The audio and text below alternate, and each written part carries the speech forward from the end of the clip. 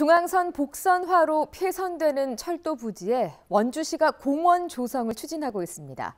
하지만 주민들은 공원이 아닌 주변 지역 발전을 위한 도로 개설을 요구하며 반기를 들었습니다. 보도에 조성식 기자입니다. 원주 시내를 관통하는 중앙선 철길. 복선화 사업으로 새로 철로가 놓여지면서 내년 말쯤 폐선이 예고돼 있습니다. 이에 원주시는 사용하지 않는 철도 부지를 무상으로 임차하고 200억 원의 사업비를 들여 바람길 숲이란 이름의 긴 공원을 추진하고 있습니다. 원주역에서 방곡역까지 11.6km의 폐선 구간을 시민들이 걸을 수 있는 숲으로 조성한다는 계획입니다. 하지만 인근 주민들은 현수막을 내걸고 원주시의 결정에 반발하고 있습니다. 80년 넘게 철길 때문에 개발은커녕 육체적, 재산적 피해를 감수해왔다며 지역 발전을 위해서 2009년에 그려진 도시계획 도로를 예정대로 개설할 것을 요구하고 있습니다.